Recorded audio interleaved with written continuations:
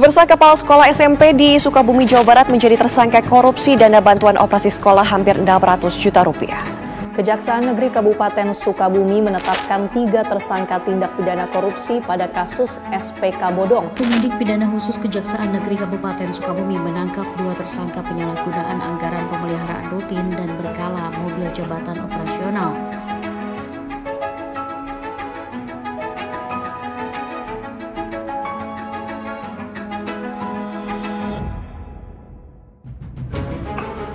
Ingat, korupsi bukan rezeki, juga bukan prestasi.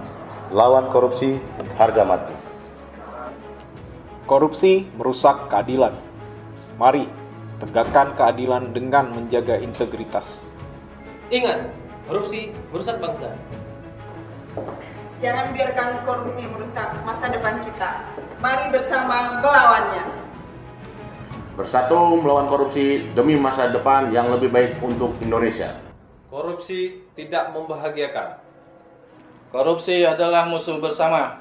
Mari bersatu untuk memberantasnya. Kita layak mendapatkan yang terbaik untuk generasi mendatang. Katakan tidak pada korupsi. Tidak ada alasan yang membenarkan tindakan korupsi. Mari kita berjuang melawan korupsi.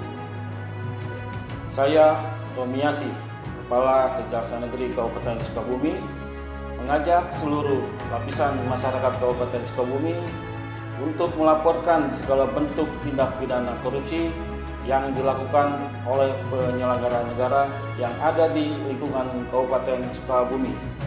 Ayo, berantas korupsi!